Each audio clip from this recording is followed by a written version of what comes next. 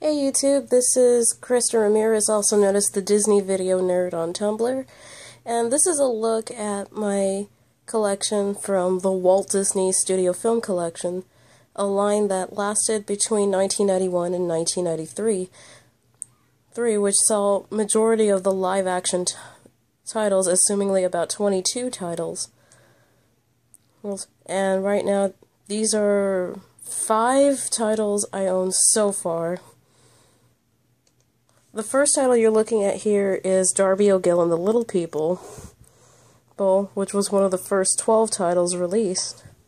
This was released in 1991, and this was the first tape I bought from this for this collection. The movie is well known for including James Bond actor Sean Connery, and according to this thing, I'm sorry about the camera. This is the fourth pressing of this release. Spine, cover. Oh, sorry. And the tape itself. The print date on this tape is June 19th, 1992. And it just typically opens up like any of the other studio film titles with the Walt Disney Home Video logo and a bumper promo for the Studio Film Collection.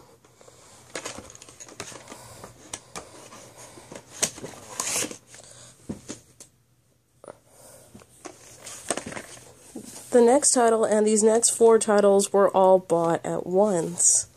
Surprise, surprise.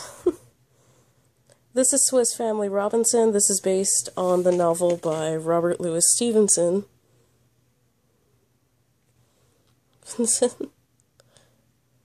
or I I may have gotten the author wrong. If I did, I apologize. This is one of the most well-known live-action Disney titles, and this was one of the one of the many.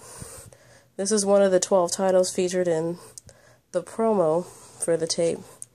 This is the front. This is the side, and this is the back.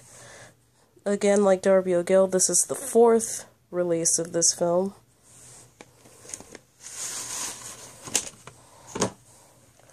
This is the tape. All of them are ink labeled. There, none of them are sticker labeled. The print date for this tape is June 18th, 1992.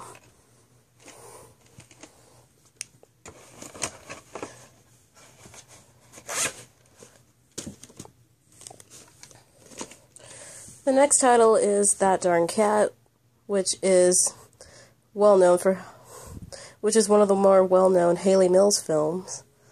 Films. This one was later remade in 1998. And this one is particularly interesting because it doesn't open like any of the other studio film collection titles. This actually opens with the trailers for Homeward Bound, The Incredible Journey, and The Mighty Ducks.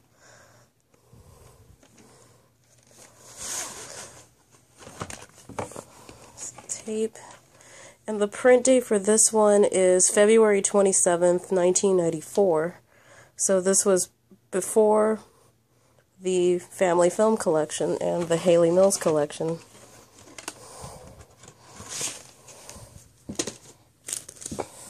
The next one is Treasure Island, based on the novel by Robert Louis Stevenson. This was the supposedly first all live action film the previous efforts being The Reluctant Dragon, a movie about the tour of the Walt Disney Studios and the making of a short film of the same name, Song of the South, which featured animated segments, as well as the film So Dear to My Heart, which was released a year later. According to IMAX Nation 1980 here on YouTube, this is the release that contains the uncut version.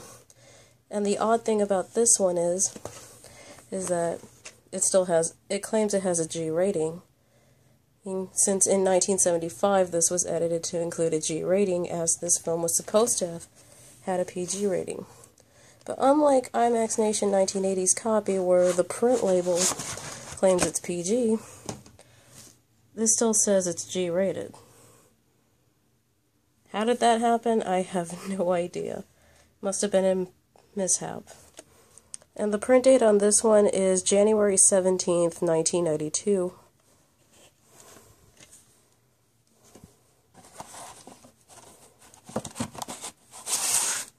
And finally, the last title I own so far, and this is probably the one that brought me to tears the most The Three Lives of Thomasina.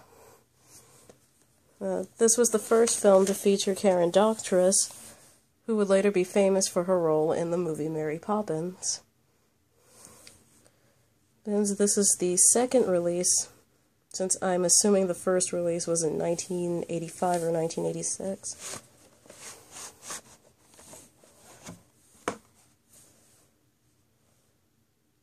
This is the print label. And the print date on this is October 30th, 1992. This was one of the first 12 titles as well in the studio film collection, as featured in the bumper.